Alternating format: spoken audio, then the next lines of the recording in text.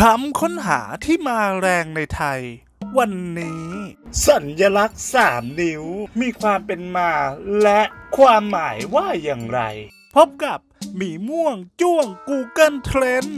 หลายๆ คนนะครับก็อาจจะรู้แล้วนะครับว่าการแสดงสัญลักษณ์ชู 3 นิ้วเนี่ยมันหมายความว่าอย่างไรนะฮะ แต่ว่าหลายคนนะครับก็ยังไม่รู้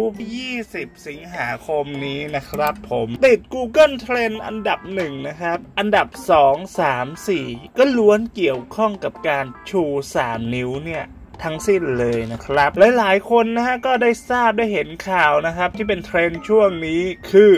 การชุมนุมของกลุ่มเยาวชนปลดแอกได้มีการแสดงออกสัญลักษณ์ชู 3 นิ้ว ซึ่งให้ความหมายว่าการแสดงออกครั้งนี้คือการต่อต้านการคุกคามประชาชนและไม่เอาเผด็จการ แต่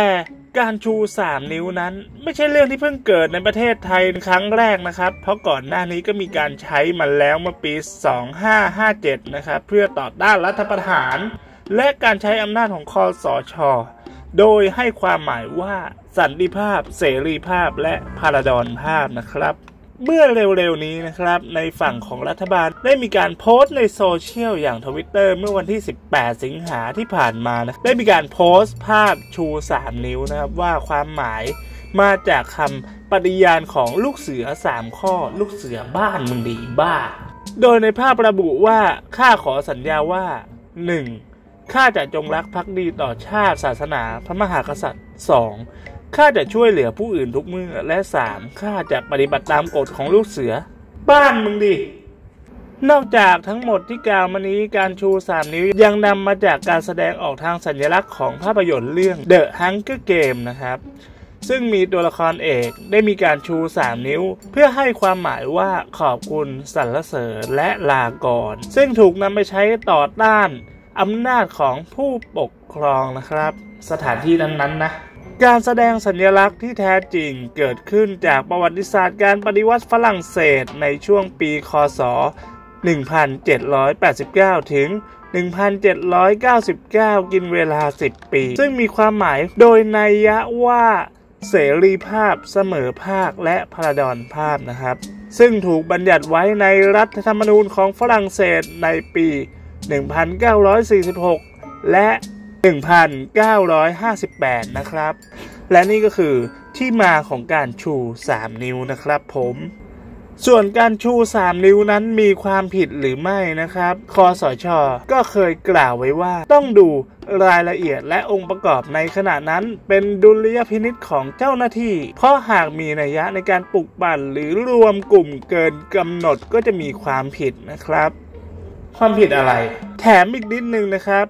ตอนนี้นอกจากการชู 3 นิ้วแล้วก็ยังมีโบขาวนะครับ ที่มาที่ไปก็คือ เป็นส่วนหนึ่งของการเคลื่อนไหวทางการเมืองนะครับ แต่เดิมการผูกริบบิ้นขาวนั้นถูกนำมาใช้เพื่อยุติความรุนแรง เมื่อปีคริสตศักราช 1991 ที่ประเทศแคนาดานะครับ หลังจากเหตุการณ์สังหารหมู่นักศึกษาหญิง ของมหาวิทยาลัยมอนทรีออลจำนวน 14 คนนะครับ ทำให้กลุ่มนักศึกษาชายกว่าแสนคนได้ออกมาเรียกร้องให้ทั้งโลกตระหนักถึงความสำคัญ ของปัญหาความรุนแรงต่อสตรีและอื่นๆนะครับ และยุติปัญหาดังกล่าว ผ่านการติดสัญลักษณ์ ลิบบิ้นสีขาวที่ปกเสื้อนั่นเองนะครับ